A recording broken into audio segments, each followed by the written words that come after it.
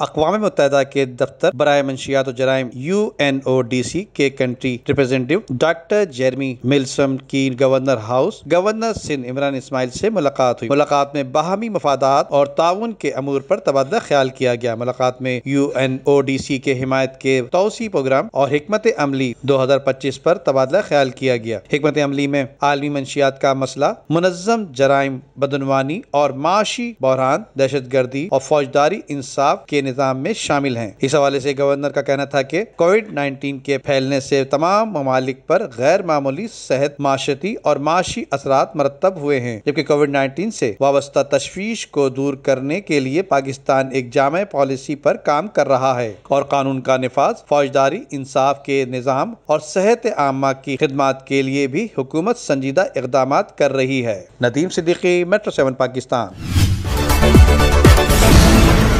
Video को like करके Facebook और व्हाट्सएप के ज़रिए दूसरे लोगों के साथ शेयर कीजिए और ऐसी ही खूबसूरत वीडियोस फ्यूचर में हासिल करने के लिए रेड बटन पर क्लिक करके और बेल आइकॉन को प्रेस करके हम सबके सब्सक्राइबर बनना मत भूलिए।